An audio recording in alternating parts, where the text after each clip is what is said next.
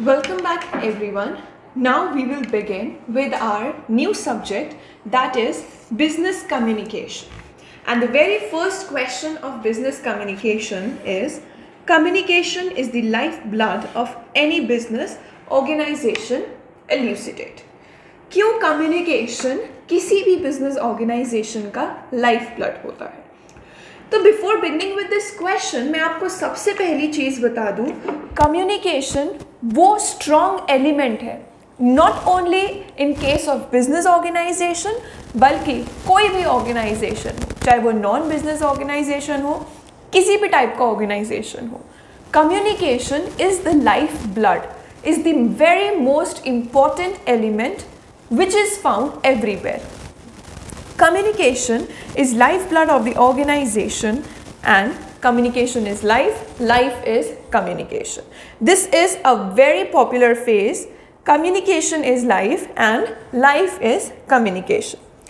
Now communication सबसे ज़्यादा important क्यों है क्योंकि अगर आपको काम करना है functions perform करने हैं communication हर जगह required है It starts with the birth and continues till death ये नहीं करें, कहेंगे कि and till death but it start with birth and continues till death यानी कि जब से किसी ऑर्गेनाइजेशन का बर्थ हुआ है, तब से लेके जब तक उसकी डेथ नहीं हो जाती किसी बिज़नेस ऑर्गेनाइजेशन की, जब तक वो लिक्विडेट नहीं हो जाता वाइंड अप नहीं हो जाता communication is an ongoing process very success of an organization is built upon effective communication तो किसी भी organization की success किस पे depend करती है उसके effectiveness of communication it establishes relationship between the superior and the subordinate and the quality of relationship revolves around the nature of communication तो ये क्या इस्टेब्लिश करता है? ये इस्टेब्लिश करता है एक relationship between superior and subordinate अब सुपीरियर एंड सबॉर्डिनेट को आपस में कुछ डिस्कस करना है। सुपीरियर को इंस्ट्रक्शंस देने हैं। सबॉर्डिनेट को इंस्ट्रक्शंस लेने हैं। अपनी प्रॉब्लम्स डिस्कस करनी है। तो ये सारी चीज़ें कब होंगी? जब कम्युनिकेशन होगा। और अगर इफ़ेक्टिव कम्युनिकेशन होगा तो काम भी अच्छे से होगा एंड प्रोडक्टिविटी अच्छे से होगी। The business of an organization is run on interchange of information, plans, idea, proposal. तो बिज़नेस ऑर्गेनाइजेशन कैसे काम करता है जब there is an interchange of information between several kind of people superior subordinate में भी, या सेम लेवल के लोगों में भी, या फिर इंटरनल एंड आउटवर्ड लोगों के बीच में तो ऑर्गेनाइजेशन में कम्युनिकेशन ओवरऑल रहता ही रहता है। डजेंट मैटर वो किसका हो that can be interchange of information plans ideas proposals use of data and conducting discussions and meetings research these are the different forms of communication तो क्या आता है कम्युनिकेशन में? किसी भी ऑर्गेनाइजेशन में read speak write listen observe and supervise तो ये सारी चीज़ें ओवरऑल हमारे कम्युनिकेशन का पार्ट है। कौन कौन सी? Read write speak listen observe and supervise ये सारी चीज़ें कम्युनिकेशन में आ जाती हैं। These are all the media of communication uses letters, reports, proposals and memos for written communication. और अगर written communication की बात करें तो letters होते हैं reports होती हैं प्रपोजल्स होते हैं एंड मेमोज होते हैं। ये चार एलिमेंट्स आ जाते हैं रिटर्न कम्युनिकेशन के। Business firms must send information about their goods and services to consumers and customers तो बिज़नेस फर्म्स को क्या करना है? इंफॉर्मेशन सेंड करनी है about what goods and services to consumers and customers क्या कहा था मैंने? कि बिज़नेस में कम्युनिकेशन सेम लेवल पे भी हो सकता है। सुपीरियर एंड सबॉर्डिनेट पे भी हो सकता है इंटरनल एंड एक्सटर्नल में भी हो सकता है। यानी कि बिज़नेस ऑर्गेनाइजेशन का कोई इंटरनल वाला बंदा एक्सटर्नल पार्टी से बात कर रहा हो, यानी कि कस्टमर्स सप्लायर्स कंज्यूमर से। तो इनके साथ भी जो कम्युनिकेशन होता है, वो भी इंपॉर्टेंट है। उनके साथ आप जो इन्फॉर्मेशन शेयर कर रहे हो, वो भी इंपॉर्टेंट है। They do so by advertising अब हम हमारे कंज्यूमर्स के साथ कैसे कम्युनिकेट करते हैं?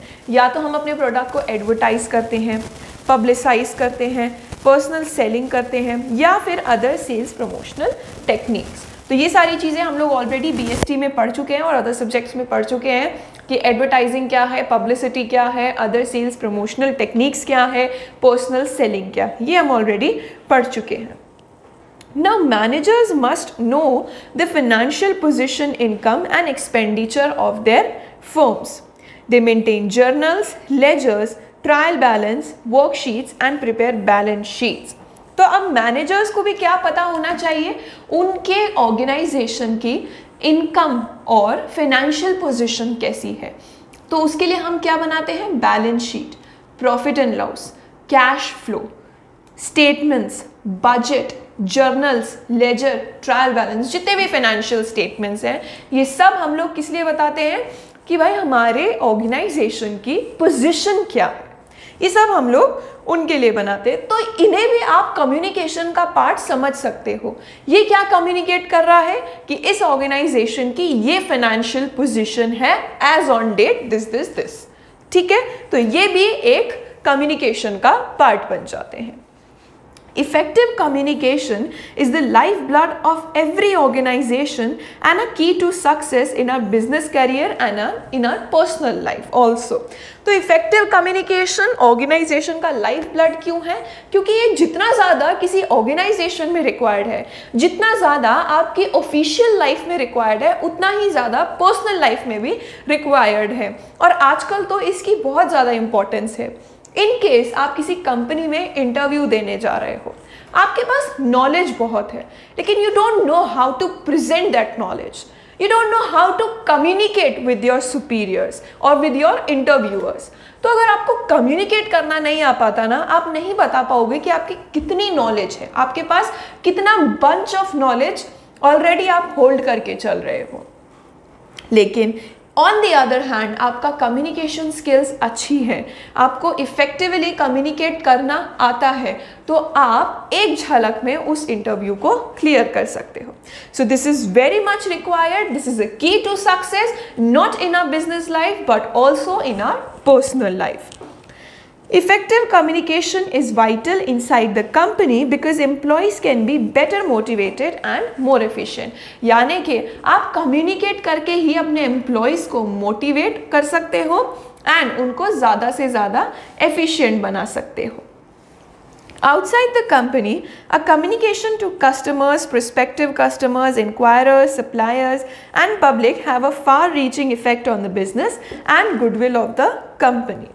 तो एक properly organized and arrange letter telephone call personal conversation can win back an angry disgruntled और dissatisfied customer and create goodwill for the company तो जैसे कि फॉर एग्ज़ाम्पल एयरटेल का मेरे पास नेटवर्क मैंने सब्सक्राइब कर रखा है।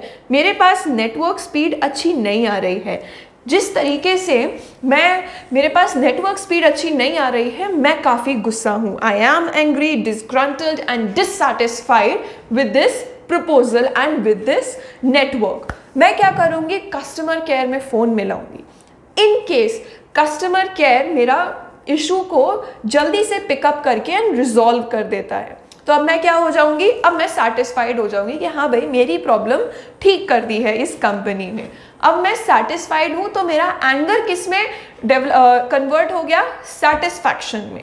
अब मैं इसी कंपनी को कंटिन्यू करूँगी। इसी ऑपरेटर को मैं कंटिन्यू करूँगी। So this is the difference अगर आपको इफेक्टिवली कम्युनिकेट करना आता है प्रॉब्लम्स रिजॉल्व करनी आती हैं तो आप एक एंग्री डिससेटिस्फाइड डिसग्रंटल्ड कस्टमर को भी कन्वर्ट कर सकते हो to a happy customer and you can create a goodwill for the company. So this is how communication is the lifeblood of any organization. In your business career, effective business communication helps you convey your ideas, lead, guide and persuade and motivate your employees. By communication skills, you can solve the conflicts between the persons. Now, success of the business depends on effective communication wars हुए divorces हुए disputes हुए losses हुए bank हुई ये सब किस लिए होती हैं क्योंकि उनके ऑर्गेनाइजेशन में इनफेक्टिव कम्युनिकेशन है कम्युनिकेशन प्रॉपर नहीं है या फिर मिसकम्युनिकेशन है ऑल मैनेजमेंट प्रॉब्लम्स इनकी जड़ क्या है? From ineffective communication communication is a key to management effectiveness चाहे वो ओरल हो रिटर्न हो फॉर्मल हो इनफॉर्मल कम्युनिकेशन हो that go through many channels and in various directions तो कम्युनिकेट करने के लिए देखिए, जब हमने प्रिंसिपल ऑफ़ स्केलर चेन पढ़ा था, उसमें हमने क्या पढ़ा था? A B C D E F G H I J K इतने सारे डिपार्टमेंट्स थे। तो लोअर लेवल वाले डिपार्टमेंट को अगर टॉप लेवल पे कोई इन्फॉर्मेशन पहुंचानी है तो उसको अपने बाकी के लेवल्स को क्रॉस करना पड़ेगा। फॉर एग्ज़ाम्पल हम देख लेते हैं, ये हमारा ऑर्गेनाइजेशनल स्ट्रक्चर है। ये हो गया टॉप लेवल ये एक लेवल दूसरा, तीसरा, चौथा एंड ये पांचवा। तो अब अगर इसको कम्युनिकेट करना है, यानी कि ई लेवल वाले किसी बंदे को कम्युनिकेट करना है ए से तो वो डायरेक्टली नहीं जा सकता, वो यू स्टेप बाय स्टेप जाएगा। ठीक है? तो अब जब स्टेप बाय स्टेप कम्युनिकेशन कर रहे हैं, यानी कि इंफॉर्मेशन पास कर रहे हैं तो हो सकता है इंफॉर्मेशन रिटेन करने की कैपेसिटी इन लेवल्स की अच्छी नहीं हो। तो ये क्या हो गया? इनफेक्टिव कम्युनिकेशन तो जो बात एक्चुअली पहुंचानी थी, वो एक्चुअल बात तो गई नहीं। उसके बजाय कोई और बात चली गई, या फिर जिस इंटेंशन के साथ पहुंचानी थी, उस इंटेंशन के पास जा नहीं पाई। तो this is what is a symbol of ineffective communication of any organisation this symbolises ineffective communication अगर रिटेनिंग कैपेसिटी अच्छी है, आपकी प्लस आप प्रॉपर वही इंटेंशन के साथ कम्युनिकेट कर रहे हो तो अल्टीमेटली इफ़ेक्टिव कम्युनिकेशन आपके ऑर्गेनाइजेशन में है। क्योंकि informal communication go through also many channels and in various direction management needs to communicate policy instruction objective and goals so that all employees will understand and accept management को क्या करना पड़ता है? Different types of policies communicate करनी पड़ती हैं instructions objectives तो जब तक मैनेजर्स को पता ही नहीं है कि किस तरीके से कम्युनिकेट करना है, किस इंटेंशन के साथ कम्युनिकेट करना है एम्प्लॉयज़ नहीं समझ पाएँगे। फॉर एग्ज़ाम्पल आज मेरे एक सुपीरियर हैं, मेरे बॉस हैं। उन्होंने मुझे कोई काम दिया, लेकिन उन्होंने मुझे ये अच्छे से नहीं बताया कि मुझे उस काम में करके क्या आना है। नहीं बताया उन्होंने। तो अल्टीमेटली क्या होगा? मुझे नहीं पता क्या काम करना है क्या मेरे रूल्स एंड रेगुलेशंस के अंदर रह के मुझे वो काम करना है। नहीं पता मुझे। मैं नहीं कर पाऊँगी अच्छे से वो काम। तो मैनेजर्स को effectively policies instructions and objectives and goal को कम्युनिकेट करना रहेगा। The final test of all communication is whether it produces the desired results quickly and correctly. तो um, टेस्ट क्या है कम्युनिकेशन का? कि आप जो कम्युनिकेट करना चाह रहे हो, उसका रिज़ल्ट क्विकली आए। That is the effective communication communication is an idea transplant यानी कि कम्युनिकेशन से हम क्या करते हैं? अपना आइडिया ट्रांसफ़र करते हैं, किसी दूसरे के अंदर ट्रांसप्लांट करते हैं। There is people to people communication, but also we are continuously sending and receiving within ourselves an artist communicates with himself अब कोई आर्टिस्ट है वो खुद से भी कम्युनिकेट करता है कोई टीचर है वो भी खुद से कम्युनिकेट करता है कि आज मैं अपने स्टूडेंट को किस तरीके से पढ़ाने वाला हूँ या पढ़ाने वाली हूँ as other, others as he pours pours inner feelings into some tangible form. The purpose of communication is to bring about a change. It is said that no person can effectively communicate for another person. ऐसा नहीं है कि मैं किसी और के लिए effectively communicate करूं मैं खुद के लिए जितना effectively communicate कर सकती हूं उतना मैं किसी और के लिए नहीं कर सकती So this was all about our question number first. Next, we will begin with our question number second in our next video. Thank you so much everyone.